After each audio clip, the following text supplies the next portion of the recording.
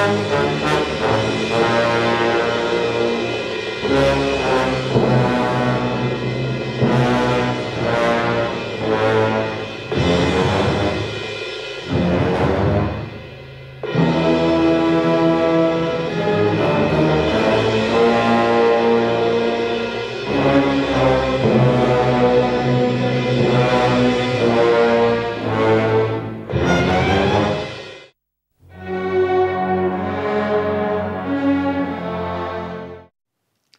Welcome to my build tutorial for the Godzilla 1964 vinyl model kit sculpted by Yuji Sakai and released by Kaiyodo of Japan in the early 1990s.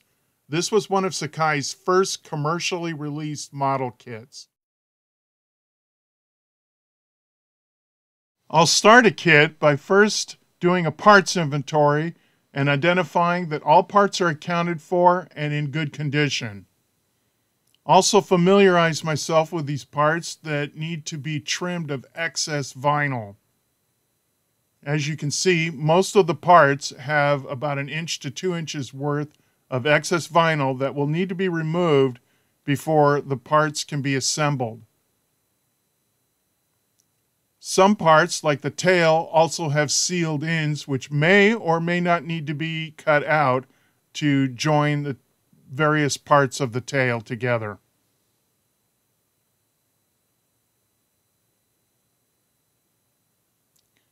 To trim the parts, I first heat up a part with a hot hair dryer for about 30 seconds to a minute which makes it very soft and pliable and easy to cut with an X-Acto knife.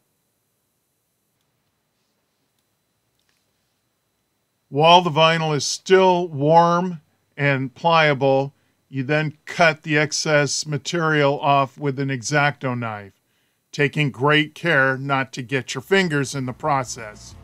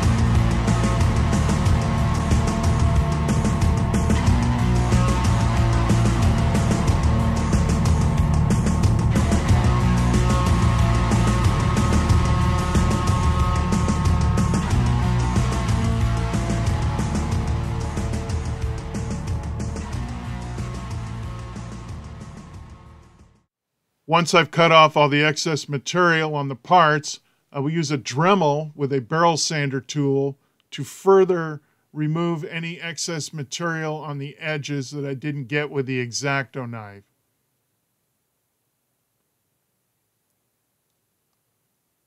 During this process, I will also smooth out any irregular edges to minimize any gaps between two parts when they're glued together. Also, the barrel sander roughs up the edge of the part, which helps glue stick the parts together better than a totally smooth part.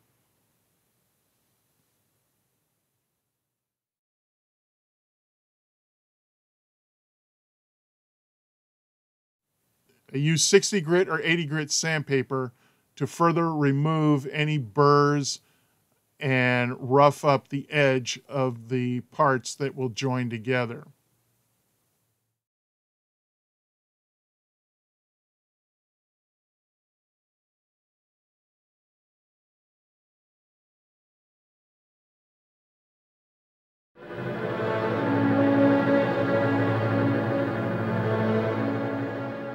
At this point, the kit's ready to be assembled, but first, the mold release, which is an oily residue on the outside of the vinyl, needs to be cleaned off with hot water and usually dishwasher soap. What I do is I just throw them in the sink with some dishwashing soap and some hot water and scrub them with a toothbrush, rinse them off, and let them dry overnight.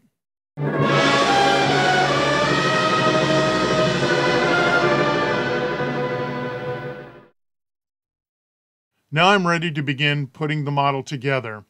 I'll start with the sub-assemblies, which is the arms to the hands, the feet to the legs, uh, the four pieces of the tail together.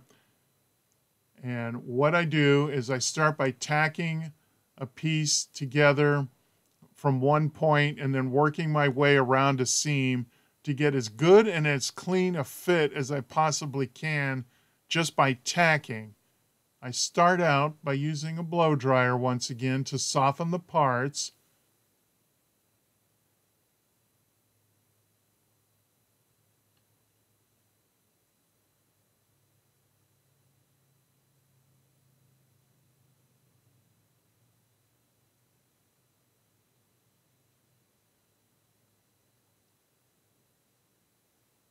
As you can see here, the part's nice and soft and pliable, easy for me to move around to get an area I want joined together, a nice, smooth, clean join. Add a little bit of thick super glue.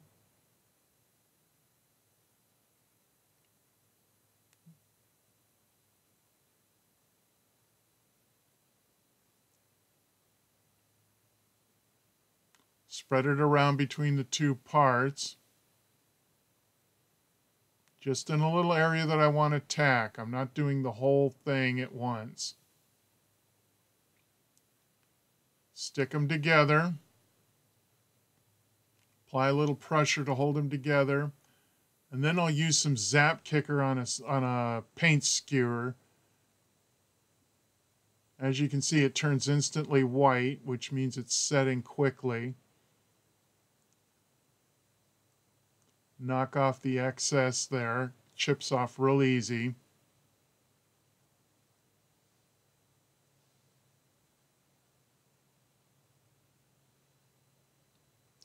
And then I'll work my way around the entire join here to get as best a fit as I possibly can at this stage. The reason being is the better the fit now, the less seam filling I will have to do in the next stage of the assembly of the kit.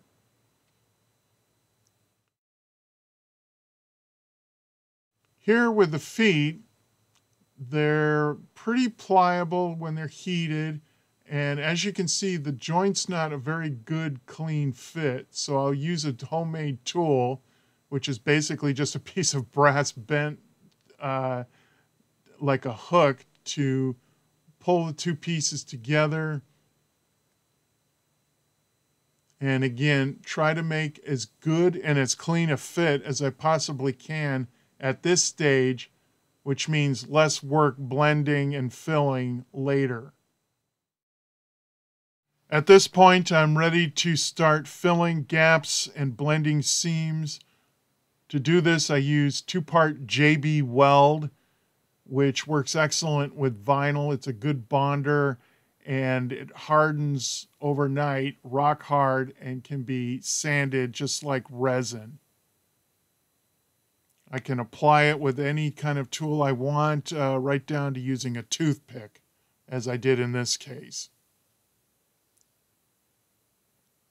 I'm not really concerned on flat surfaces how it looks when I apply it because once it's dry, I can grind it flush with the vinyl material, such as on the underside of the foot here, where it's still a pretty rough looking joint. Now the inside of the leg, as you can see here, is pretty thin vinyl, and that's a bit of a problem when it comes to supporting the whole weight of the finished model.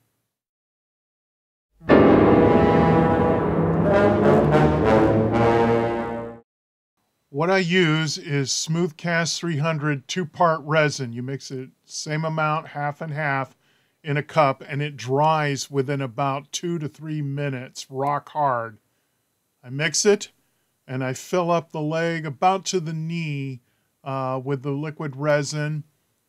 This will harden and add stability and weight to the bottom of the kit. As you can see here, even as I'm pouring it, it's already starting to harden in the cup.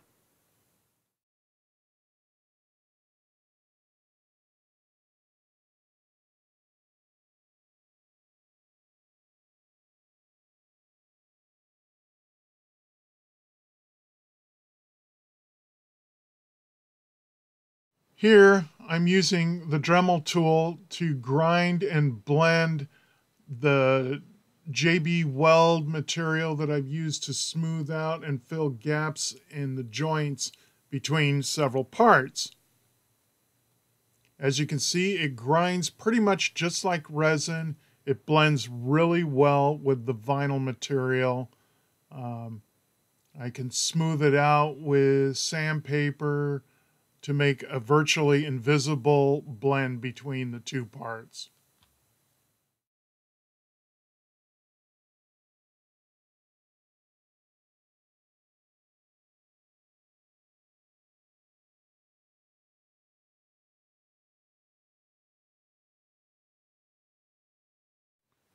I'm now ready to join the legs to the main body part. As you can see here, I've cut some small holes in each side of the body where the legs will attach. This is so I can get my fingers in through the inside of the body as well as in case I need to pour more resin into the legs once the legs are attached to add further stability to the body. As can be seen, even though I've done a good job of trimming the parts, it's still going to have significant gaps where the legs attach to the body.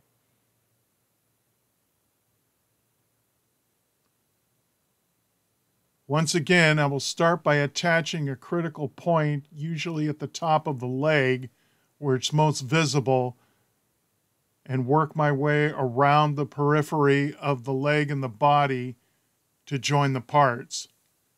Once again, I'm heating the parts with a blow dryer as I tack them together, making it soft and pliable so I can push it together areas where there might be some gap and then add glue, sticking them together.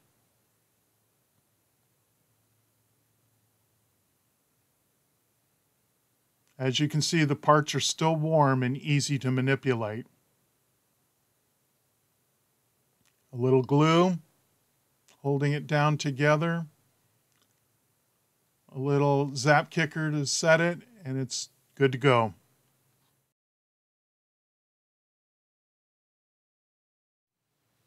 At this point, I've attached the legs and the arms to the body permanently. The tail is inserted temporarily a problem with this particular kit is because of the tail and the awkward pose, it is not balanced. Therefore, what I'm going to have to do is fill the front of the body cavity with two-part resin. As you can see here, the resin has dried. It's in the front chest area, and it should give the body perfect balance with the tail attached. If not, I would fill it further with more resin in the front. Let's see if it stands up. And there you go.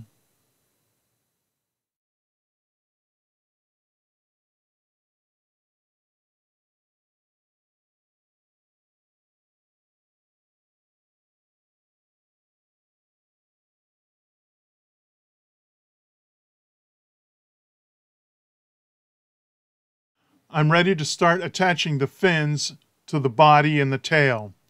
As the directions show, some of the fins come on trees while others are individual parts. All the parts are numbered, but they're very hard to see, as well as the numbering corresponding on the body. So I use a silver pen to mark the fins and the body with the corresponding numbers, as well as arrows showing which directions the fins should be pointing in. As there are three rows, I also mark the trees the right, the left, and the centers. It is important, especially for the larger fins, to be pointing in the proper direction towards the head.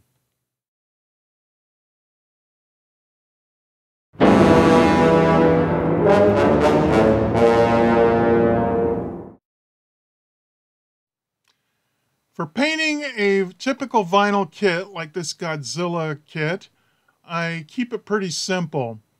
I use Tamiya flat acrylics and I stick with basically primary colors, flat black, flat white, the free primary colors, and a few secondary colors. To get certain values, I'll mix the colors by eye to get, say, a warm flesh color. And for the airbrush, I will use Tamiya thinner or alcohol. For sealing, I'll use Mr. Hobby top coats and especially the Mr. Hobby Super Clear Gloss if needed, uh, and the Super Clear Flat. For primering, it's Mr. Hobby and Tamiya flat white or black primers, which stick really good to vinyl. Now, it's really important that I use 99% alcohol a lot when I thin my paints in the airbrush because it goes on very flat. And then I use Mod Podge uh, gloss usually for like teeth and the inside of the mouth or claws. And of course, I'll mix it for large amounts of paint in a bottle. And this is my trusty Iwata BCS airbrush. I've had this one airbrush for over 25 years and I've never replaced it. Now I'm ready to start primering the kit. I'll start with uh, Mr. Surfacer Black for the body uh, it provides a really good barrier between the vinyl and whatever acrylic coatings I'm going to be doing. It dries fast. And then for the fins, I'm just going to go with the Tamiya Surface Primer White. Um, it too provides a good barrier and it goes on pretty strong with one coat. I don't need to do multiple coats to get a nice white base.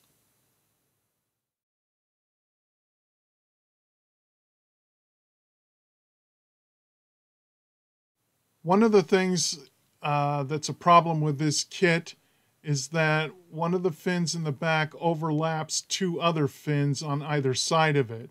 So to get an accurate paint on this particular piece, I'm not going to attach it until after the parts completely painted. That way there won't be any hazing or shading with the airbrush and I won't have to deal with bending it to get behind the fin between the two spaces where it touches the other fin.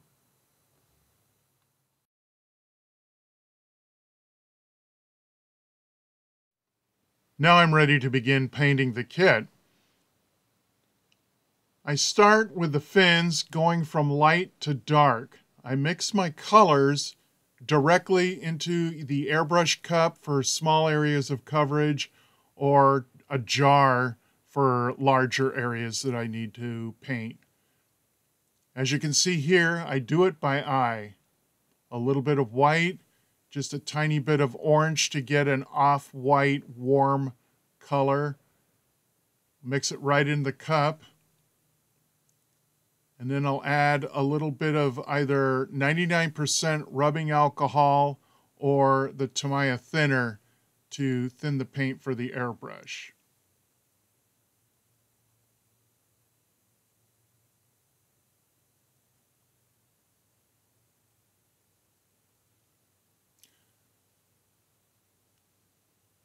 It will take me several passes on the fins in this case to get the graduated light to dark values I want for the edge of the fins and the, the bumps that are on the fins as well.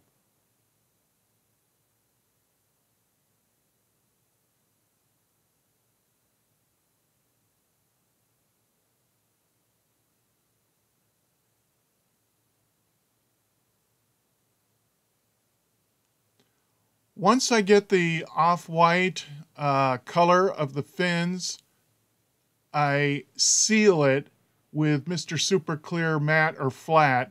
Uh, the reason being is not just to seal the paint and bond it to the uh, kit, but also as a sealant when I do reverse painting, a technique I'll go into in my next step.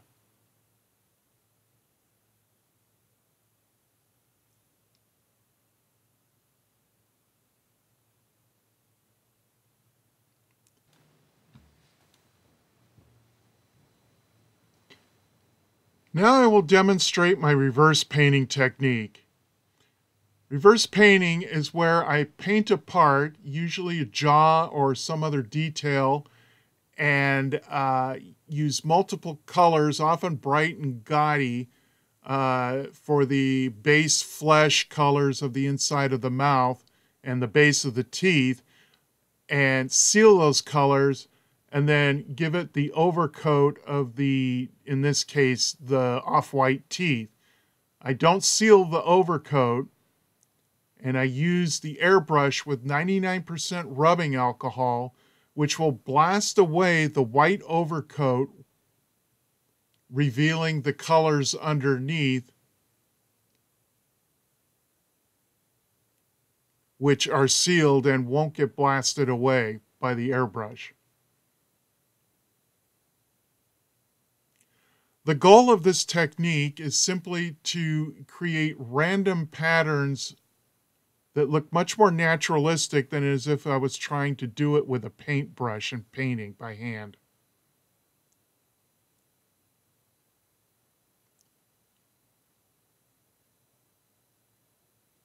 As I blast away the white, you can see that it flows away from the direction of the airbrush, creating new patterns and lines in the part that aren't really evident uh, in the part's uh, sculpt.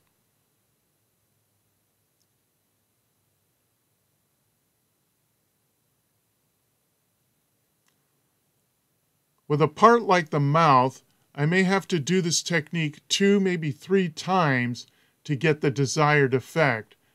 Painting, sealing, laying on my overcoat, blasting it away, sealing it, and then painting some more color onto it, and again blasting some away to get the final result.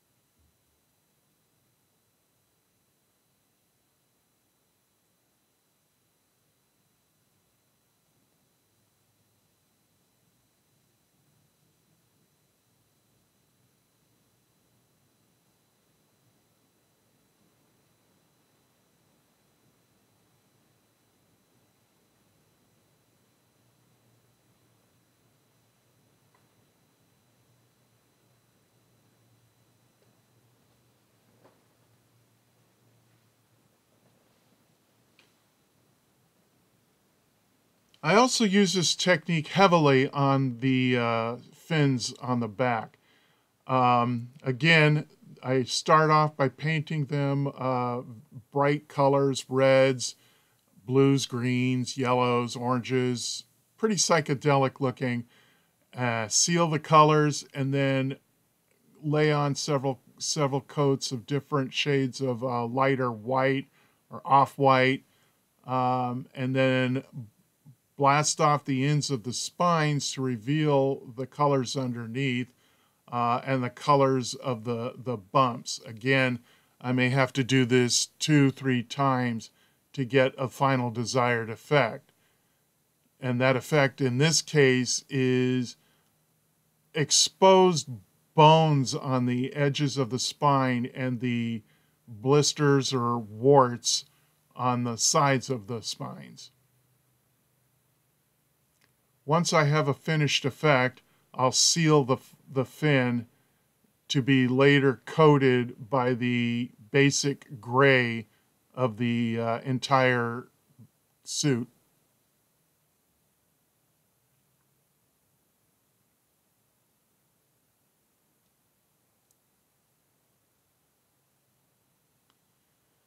And I'm not limited to just using the airbrush to do this technique. I will use a regular brush and dry brush, though 99% alcohol, to get uh, larger areas or to create uh, paint flow uh, in specific spots that I, I want uh, more coverage or that are harder to get from the airbrush.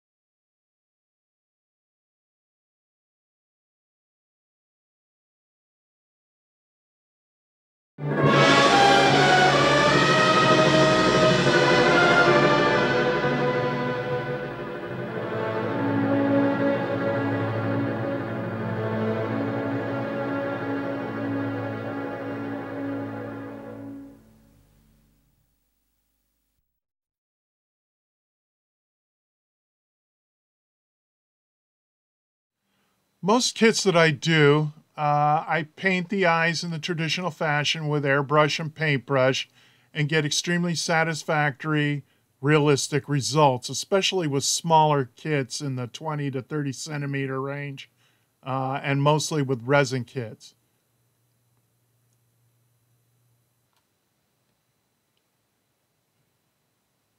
However, over the years, I've looked at other options to make realistic eyes, especially perfectly round, uh, which you'd find on some of the Godzilla figures, especially in the 90s. One of the options I came up with was designing them in Adobe Illustrator and printing them out on a color printer on a sheet of decal paper. I would then cut out the appropriately sized eyes uh, and apply them as water slide decals on a kit. This would often yield very satisfactory results, but I still found the technique limiting.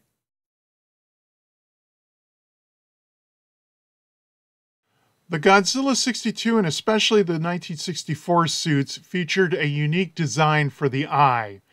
The eyeball itself was a fixed part that was encased in a clear plastic outer sphere.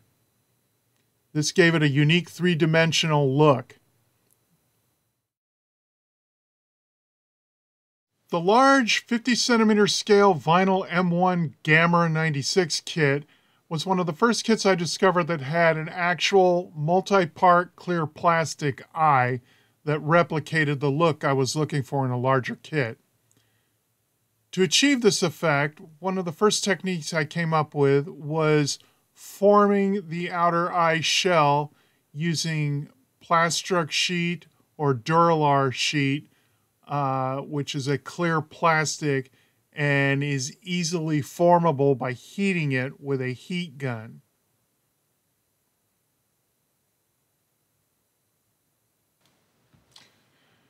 To do this, I would cut out a small square section of plastic and I would use something like a ball bearing, a marble, or in this case, a acrylic sphere glued to a stem to hold it properly. The way it works is I heat the plastic to the point it's almost melting and then press in the sphere to make an impression.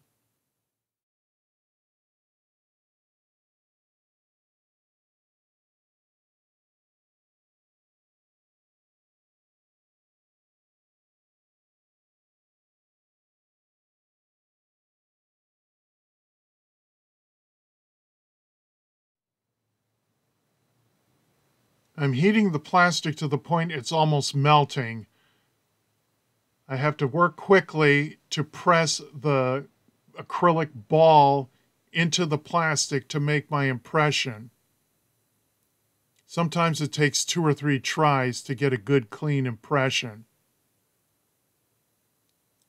Once the plastic has cooled and I have my uh, impression, I can cut it out and I will have my little eyeball cover.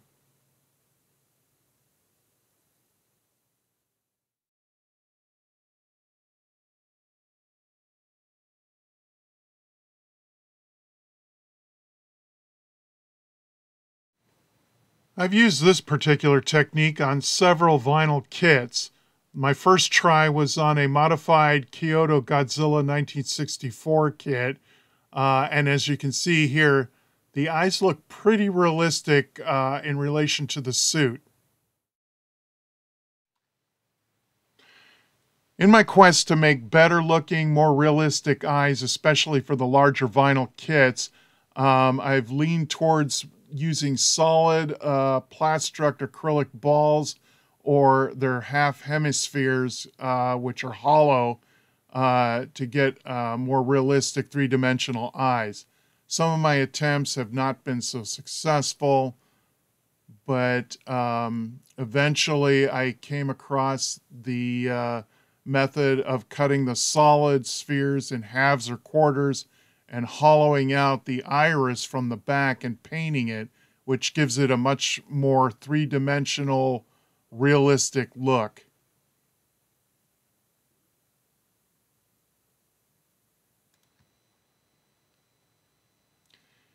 Here's some samples and rejects uh, where I've tried different techniques. Um, some of these are more similar to typical taxidermy eyes uh, where the backside is flat and I've simply painted the uh, eye on the backside of the cut in half sphere and um, it gives a good effect but it's not quite as three-dimensional as I was shooting for. As you can see they're more similar to doll's eyes in this case.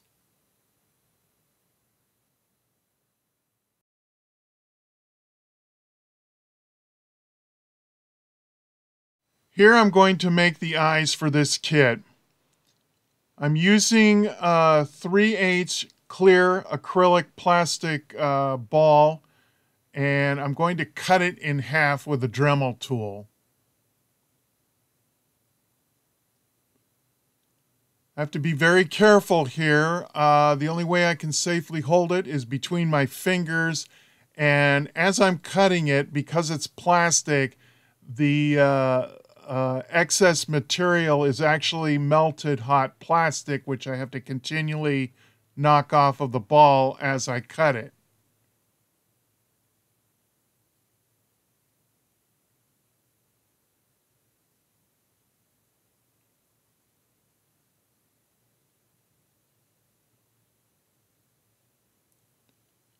Once I've cut the ball all the way around in half, I can just basically crack it apart uh, to get two pieces.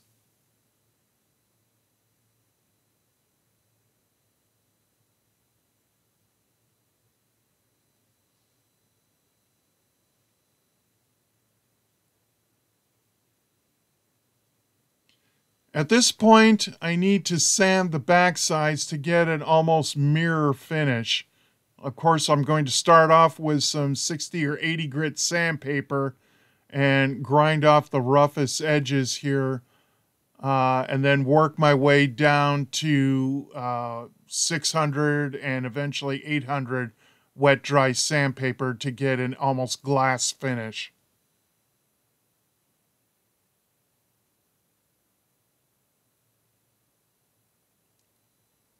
This whole process of sanding it from the moment I cut it in half to where I get the glassy finish only takes about 15 minutes because it's plastic and it sands really easily.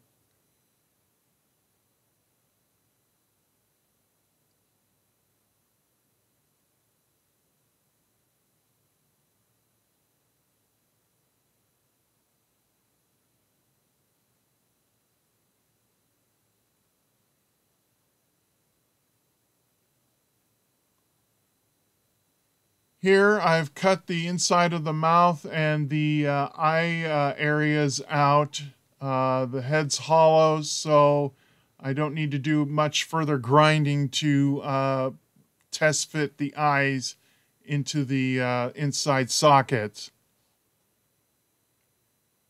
As you can see here, I don't have to do very much work to get a really good fit.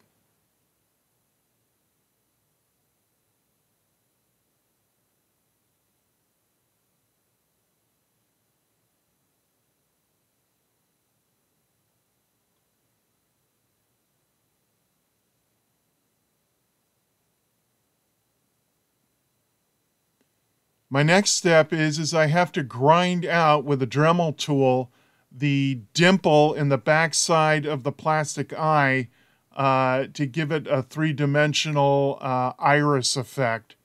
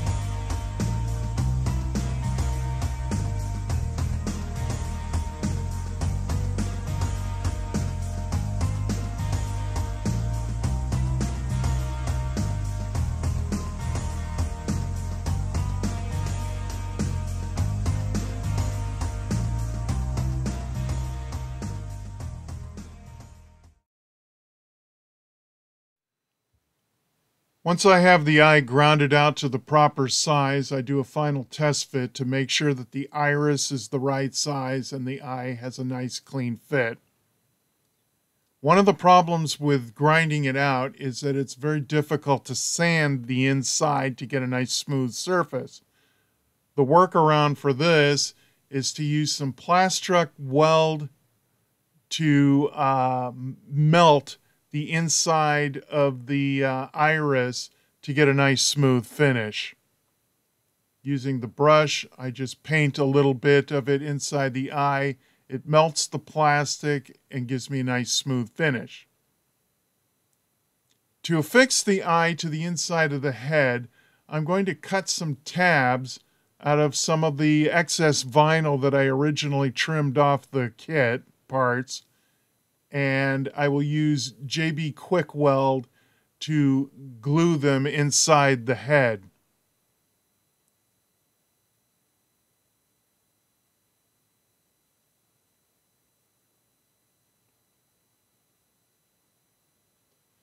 This way, I'm using the tab to hold the eye inside the head and not actually glopping the JB Weld all around the inside of the eye potentially damaging the paint job of the eye or having it ooze out between the eye and the outside of the eyelids of the kit.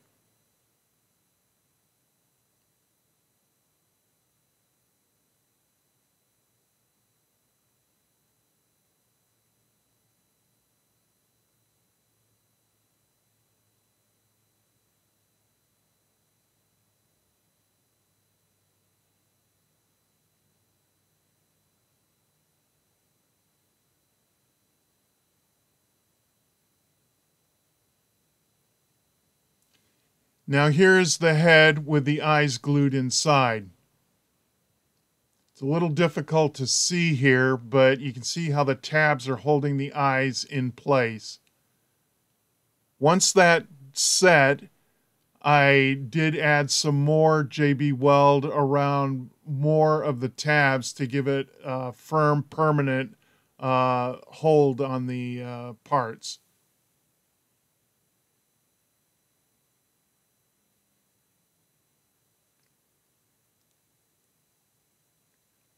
I then use kneaded eraser uh, to protect the outside of the eyes from getting paint on them when I eventually paint the head.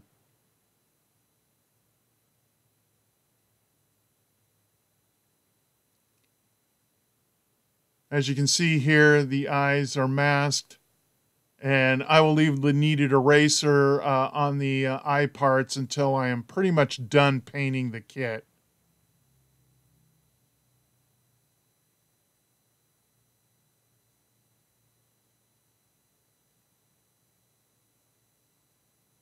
Now I'm ready to uh, affix the uh, upper jaw and seal up the head uh, to the kit.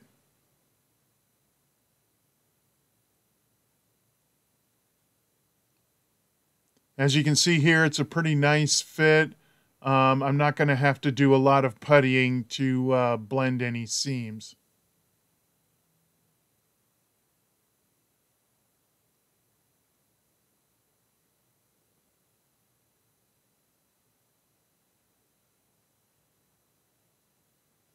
Once I've puttied the around the mouth, I will uh, paint the rest of the inside of the face.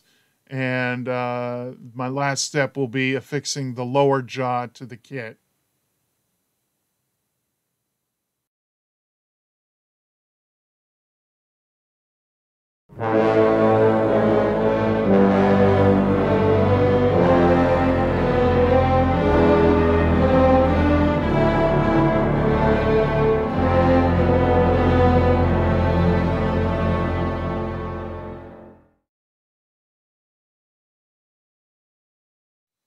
At this point, I'm ready to finish detailing the uh, head part uh, and I'm going to uh, apply some washes to the inside of the jaws uh, around the teeth to bring out some more detail in the sculpt.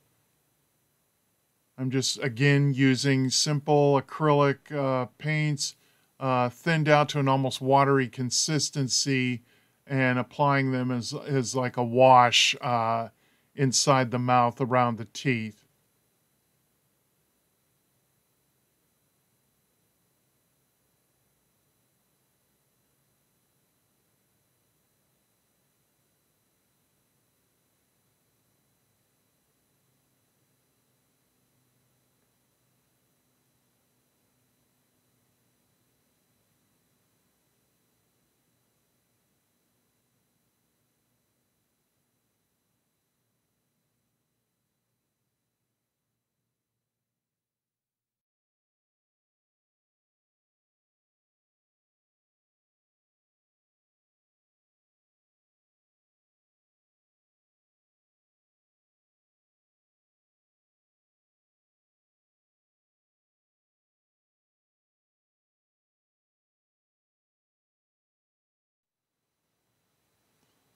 I'm now ready to paint the body the dark gray.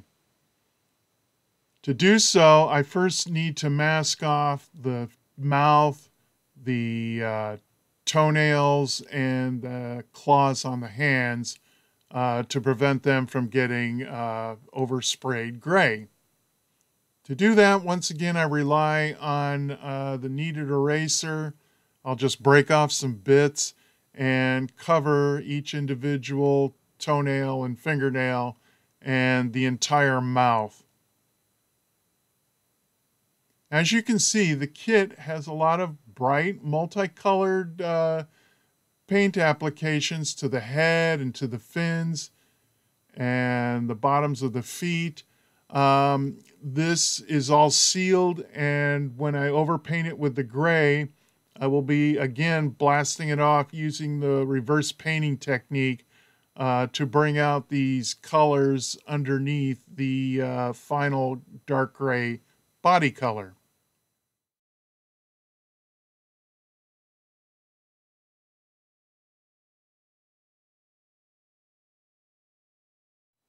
All right, Here I'm going to make a bottle of the dark gray charcoal color that makes up the uh, overall color of the figure.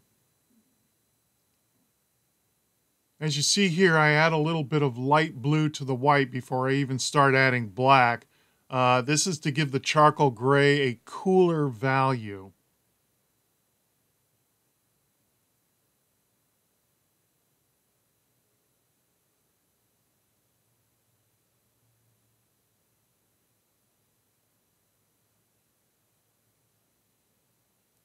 As you can see here, I mix the colors once again by eye. Um, I'm going to keep adding black until I get it to the value I'm looking for.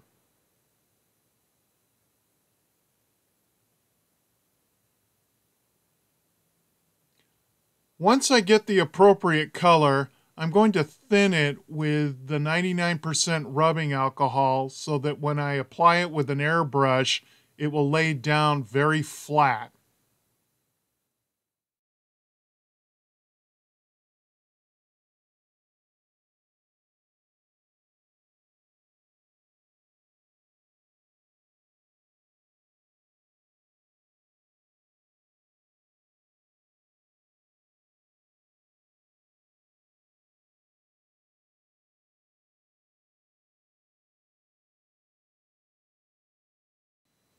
Now here I've uh, airbrushed uh, mostly the back fins uh, and part of the tail uh, with the uh, dark charcoal gray. And now I'm going to blast it off with a reverse painting technique with the 99% rubbing alcohol.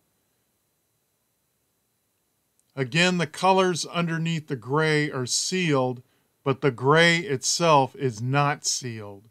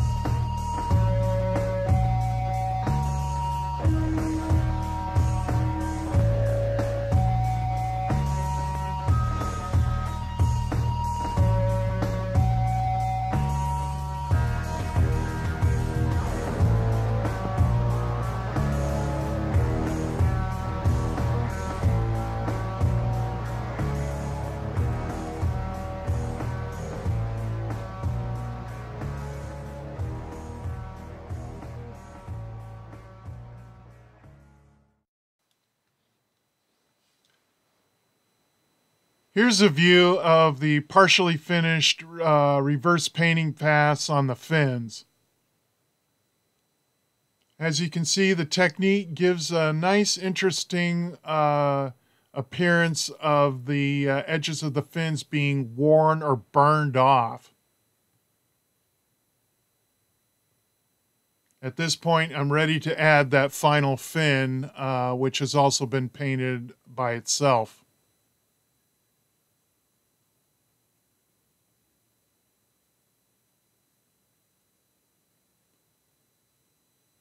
Here the kit is almost completely painted and I'm down to doing detailing by hand.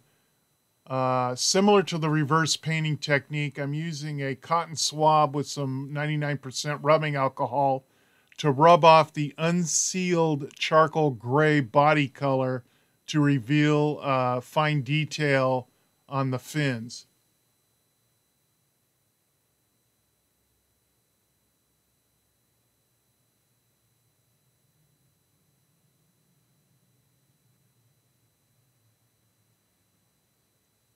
Other techniques I will use at this stage include dry brush painting and uh, using a sponge uh, with some thinned out washes to uh, get the dirty uh, appearance of the suit.